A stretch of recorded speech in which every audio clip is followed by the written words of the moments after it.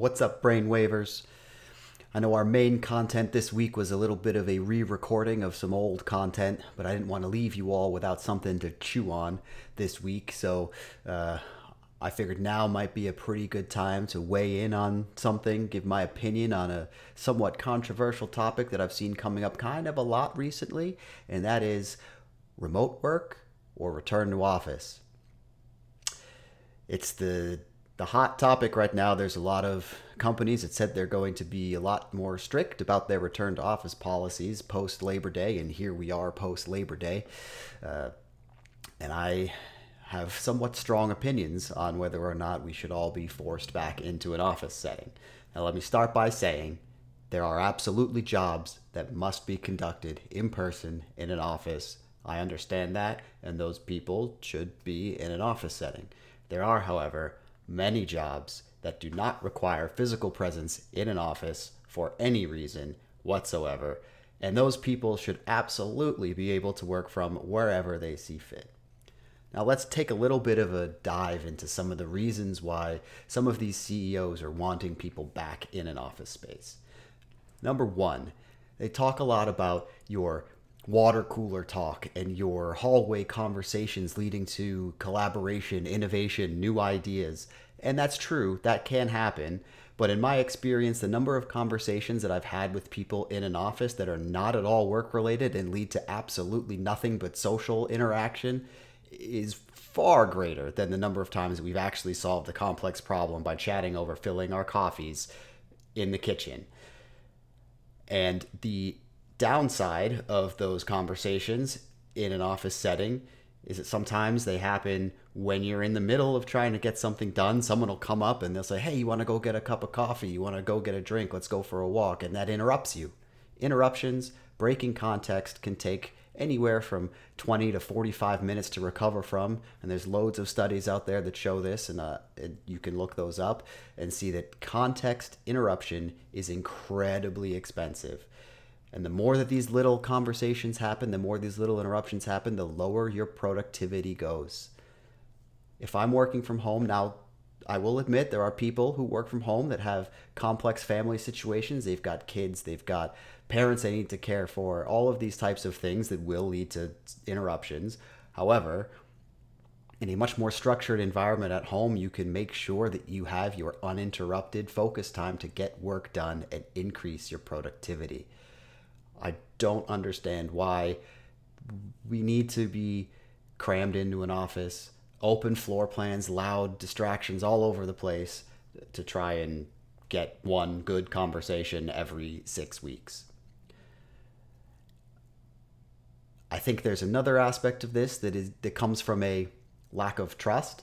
You hear a lot that people are only getting a couple hours of work done when they work from home.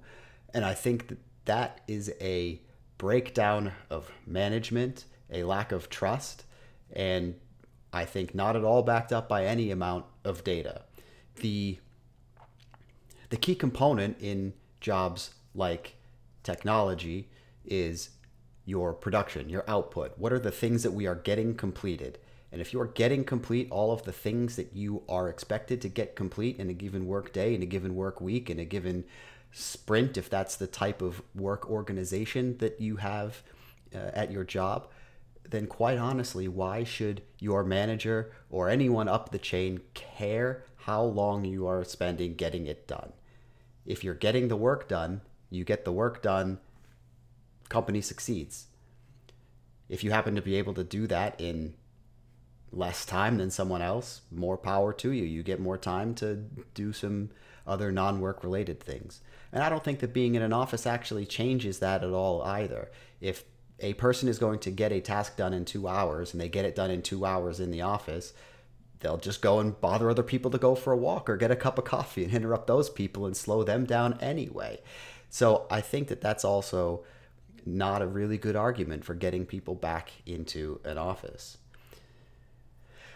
And I think the negatives of asking people back into an office go beyond just the the the open settings, the loud noises, the distractions, all of those things. You're asking people to give up more of their time for the job.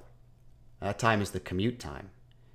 You are asking people to give up some number of hours of their day, of their week to get from their home to their office, especially now at a time when people have moved farther away from cities where a lot of these jobs are because of the remote work that was available during COVID and because of uh, other factors like housing prices increasing.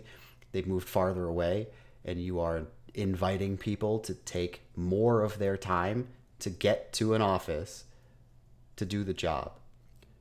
And I just think that is incredibly unfair because we're not getting compensated for that time. Now, you can say that somebody who's on a salary, they're getting compensated for all of their time. But at the end of the day, the time that is spent in a car, on a train, on a bus is not considered work time to the employer. And so you are not getting compensated for it. And that's time that you have just lost. It's gone. You never get that back. In my case, I live about an hour with no traffic away from the major city where all of the jobs are located.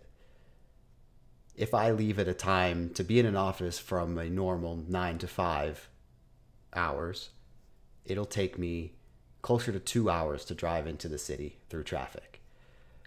And the same thing is true coming home. It'll take me about two hours to drive home. That's four hours out of my day that I am now spending doing nothing but sitting in a car in traffic. There are much better things I can be doing with that time, such as producing this content for you all, editing this content. Uh, you know, I can be exercising, I can be uh, getting chores done around the house. All of that commute time cuts into the time that I have for other things outside of work. And I don't think that that's right to ask that when there are really no tangible benefits to people being in an office. We can look at studies that exist uh, that have been done since the onset of, of COVID and the, the remote working environments where productivity has actually gone up in a lot of cases for people who work remotely. And there's just, I don't know, there's no reason for people to be forced back into an office.